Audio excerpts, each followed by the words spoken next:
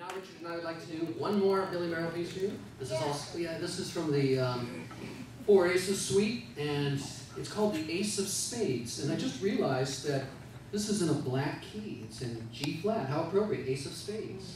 Billy Mayerl thought oh, everything. Wow. Here we go, Ace of Spades.